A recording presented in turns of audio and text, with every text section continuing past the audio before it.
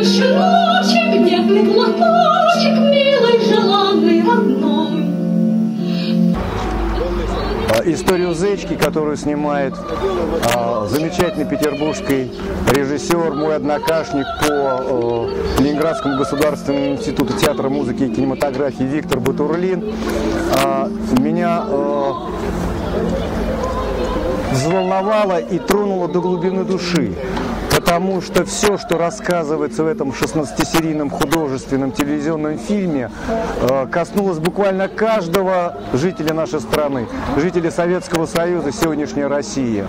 Э, В этой драматургии есть и э, радость победы нашего народа в Великой Отечественной войне, и горечь поражений.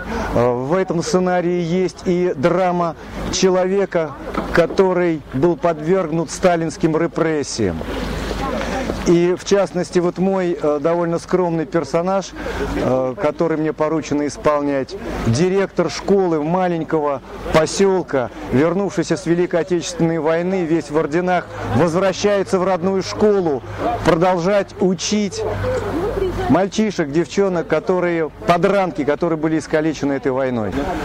Съемочный период в самом разгаре, и э, сегодня, наверное, не стоит говорить о результате, но вот сама тема, э, тема животрепещущая, э, задевающая просто, извините за банальность, до глубины души, она сегодня очень актуальна. Не случайно стоит вопрос о патриотизме, не случайно стоит вопрос о э, любви к нашей стране, о том, чтобы Россия поднялась с колена, выпрямилась в полный рост.